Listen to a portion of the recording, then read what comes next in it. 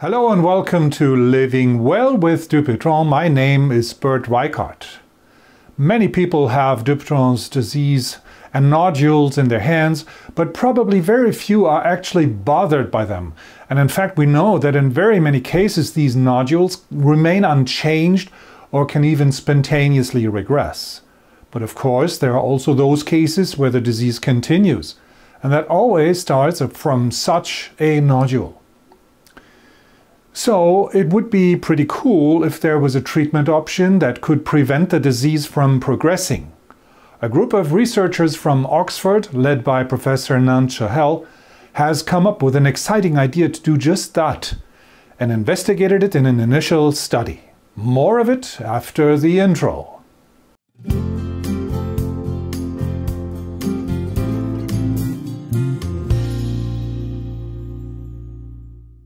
About uh, 60 years ago, Vernon Luck had published a seminal paper in which he presented, among other things, a theory about the progression of Dupuytren disease. I show a short excerpt from an earlier video in which I had presented this in detail. Er hatte beobachtet, dass die Erkrankung immer zuerst mit Knoten anfing, dann entstanden Verhärtungen in der Bindegewebsplatte von den Knoten ausgehend und immer in Richtung auf das Handgelenk laufend. Die Knoten wurden dann kleiner, schrumpften zusammen und die Bindegewebsstränge gerieten unter Spannung und wirkten wie Fesseln, die die Streckung blockierten und zwar an dem Gelenk, das unmittelbar hinter dem Knoten lag.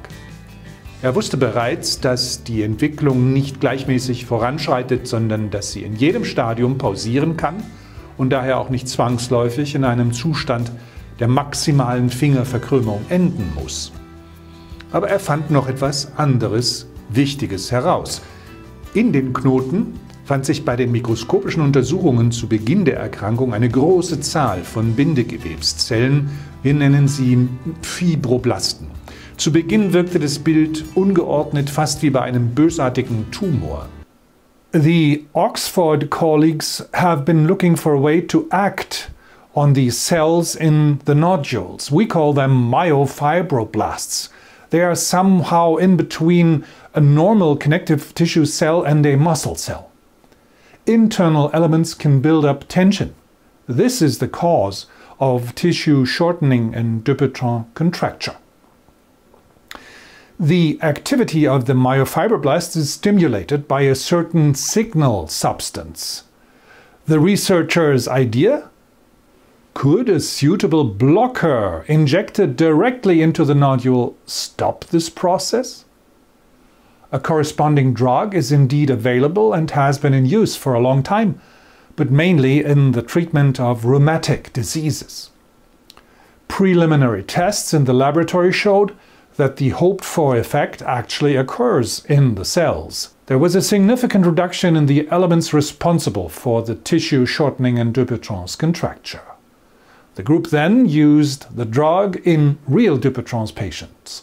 Two groups were formed. Half were treated with the drug, and the other received an ineffective placebo. The effect was measured with a durometer, an instrument that can determine the hardness of tissue. Recently, the results of this study were published. A year and a half after treatment, the hardness of the placebo treated nodules was largely unchanged, but that of the treated nodules had continued to decrease. The idea and the results of the study sound convincing, but does it actually work in real life? Can the progression of the disease be reliably prevented in this way? One cannot conclude that from this study. Because Dupuytren disease progresses so slowly, patients would have to be monitored over much longer periods of time, not just a few years, but rather several decades. Nevertheless, this approach is important because it follows a new path in the treatment of this disease. It is no longer just about correcting a finger curvature, but about preventing it. I am very curious to see what will develop from this idea. That's all for today. Thanks for watching. Best regards. I am Bert Reichert. Thank you for watching. Thanks for your comments. Please don't forget to subscribe.